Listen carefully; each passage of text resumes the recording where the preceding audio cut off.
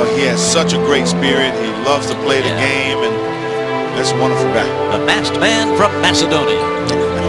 But, hey, He's a second-year player, 31 years old out of Macedonia. Seven points, four rebounds last year.